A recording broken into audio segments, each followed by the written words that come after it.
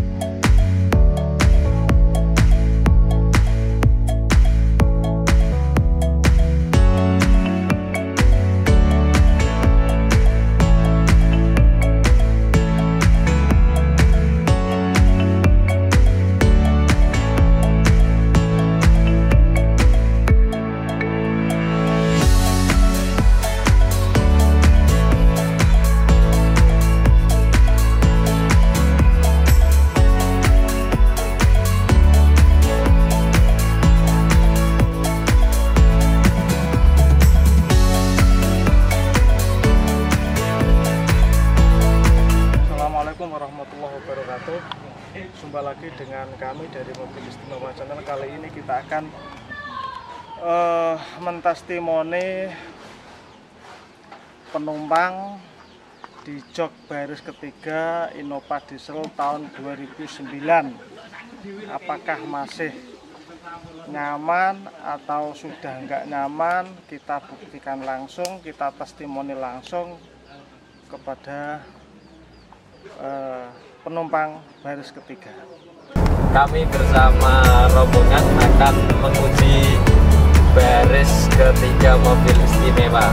Apakah layak untuk dikendarai atau tidak? Yuk mari kita saksikan testimoni para penumpang di barisan ketiga. Untuk jok nomor tiga dari depan jok nyambuk sekali agak nyaman. Kemudian ada aqua di sampingnya sehingga untuk mengurangi sumuk-sumuk di siang ini bisa terobati. Kemudian joknya juga agak lebar apalagi ditemani dengan penumpang yang sungguh asik humoris. Kemudian dia juga eh, penumpang di jok 3 saya kira dia bisa sama dalam merasakan enaknya jok 3 ini jadi lebar sesuai dengan eh, kriteria mobil yang kita naiki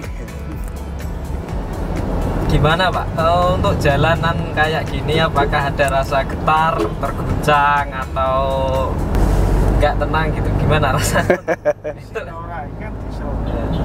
Soalnya ini mobil Innova yang tipe diesel, Pak. Ada suara berisiknya juga atau enggak gitu. Suara gak terlalu berisik ya. Masih bagus ini. Ya goyangnya juga enggak karena kebetulan di daerah yang rata jalannya rata. Oke, sekarang beralih ke posisi kaki ya. Apakah posisinya nyaman? Kaki-kakinya menatap ke jok depan atau le- lega atau gimana, Pak? Kalau kaki karena kaki saya panjang ini jadi jadi agak agak natap dikit ini. Oh, kategori Untuk- tinggi. Tingginya berapa Pak? Untuk Anda ukuran tinggi badannya berapa? Sampai 180. Oh, ya. Terus kategori tinggi. benar berarti Mas. 180 tuh yang sampingnya ini. Gimana posisi Iya. kakinya? sangat nyaman sekali karena kebetulan kaki saya pendek jadi saya bisa angkat kaki saya di bangkunya Oh, oke. kemudian untuk yang di bawah sandal saya bisa saya ta- taruh rapi seperti kita waktu mau sholat berjamaah di masjid Sandalnya gitu. No. tertib seperti itu sama kita bisa kalau duduk berdua seperti saat ini kita bisa nyingkrang sam- kalau seandainya ada kopi di tengah bisa nggak saya sambil ngopi Iya. Oke, untuk sandaran joknya gimana, Pak? Bisa Sa- sangat nyaman sekali nyaman, nyaman ya. Bahkan untuk ukuran perut yang gendut seperti saya ini itu sangat nyaman sekali. Kita bisa sambil bisa berbahan sambil layar-layar sambil dengerin musik. Tapi saat ini musiknya lagi galau ini. Karena sang super lagi anu wirid masalahnya. Oke, untuk rasa AC atau istilahnya pendingin, pendingin mobil sampai ke belakang atau tidak? Ya, Masalah rasa terserah selera anda kan? Rasa itu rasa lemon rasa jelly kan terserah. Tapi Terasa nggak untuk sangat yang- terasa sekali. Dingin nggak? Maksudnya? Masih dingin dingin? dingin ya. Apalagi waktu ini kan agak cuaca agak panas sih di kota Pati. Sehingga kita bisa bisa merasakan kedinginannya. Waktu mobil berjalan juga kita bisa sangat rileks sekali rasanya nyaman seperti itu jadi nggak perlu kita, kita bawa kipas-kipas seperti tukang sate Madura seperti itu nggak perlu ribet ribet cong